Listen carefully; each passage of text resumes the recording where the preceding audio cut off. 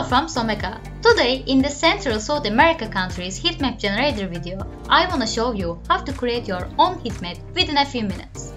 I will introduce you some of the additional features of this heatmap. And let me show you what I mean but before that, if you need some assistance, you can follow our instructions by clicking turn on here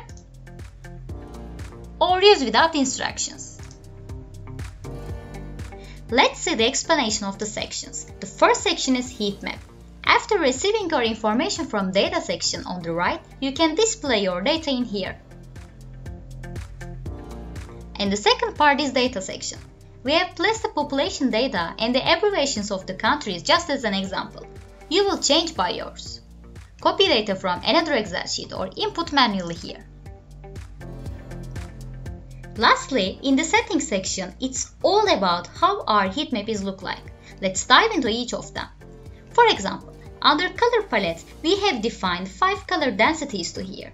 These colors are indicated by your value limitations.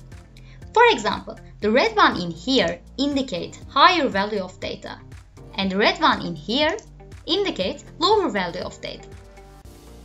But if you want to set different color on the heat map, select one cell and change it from there. In the color and legend part, you can change the color of background and the state borders. Also, if you don't have data for some countries or when the data is not ranging their limitations, you can paint them gray for example. And lastly about legend display, you may want to show or hide the legend information on the heat map. It's your choice. You can change here. This drop down. Last part is about text settings on the heat map. So when you click no text, you will see just the color.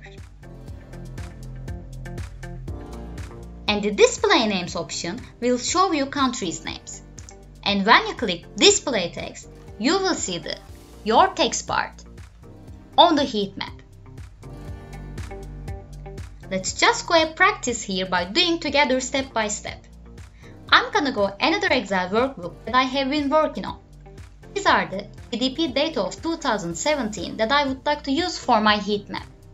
Actually, I've sorted them alphabetically to set easily this ready to use template. Let me go just copy of them and paste here as a value. So about color density, I should define my value limits. But before that, I will go my own sheet again because I've calculated my minimum and maximum values to easily set limitations. Again, I will copy of them and paste here as a value also again. And after that, I will come in here and customize a little bit. Let's select a red one.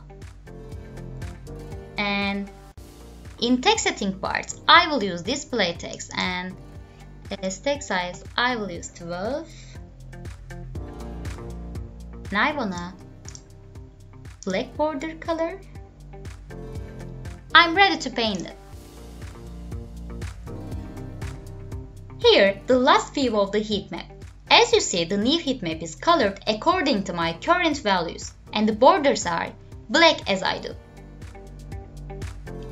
In addition to this, you have a button here that says export as a PDF and when I click on that, it takes me to the page where I can print the final view of the heat map.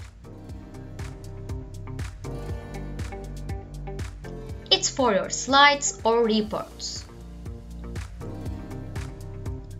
Lastly, you can make some customization on the heat map also. All the country shapes are editable, but before, I'm gonna go Review section, Unprotect sheet, you'll be warned like this, right here your password. It will be sent to you with our email. Like, I can move it aside, resize it, and paint it blue for example and I can copy this shape to my PowerPoint slides. And this ready-to-use template is making available to show a heat map kind of visually nicely if you have a large statistics. Hope that helps. Thanks for watching and do not forget to check our other templates from Someka website. Thank you!